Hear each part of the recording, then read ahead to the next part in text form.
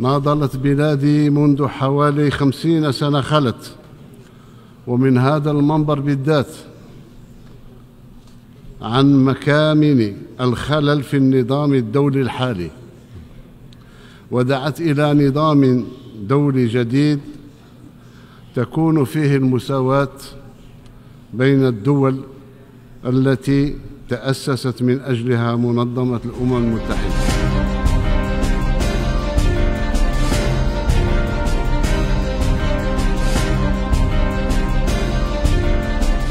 بلغت النزاعات والأزمات في العالم.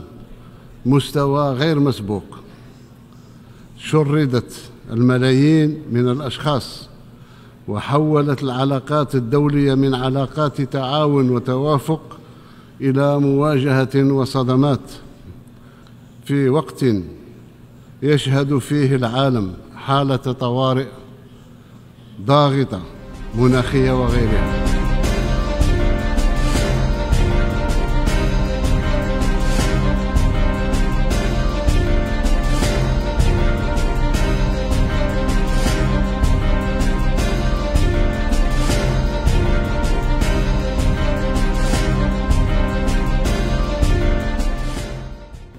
حتى نتمكن من إشعاع السلم والأمن الدوليين وتحقيق أهداف التنمية المستدامة في ظل عالم متعدد الأقطار.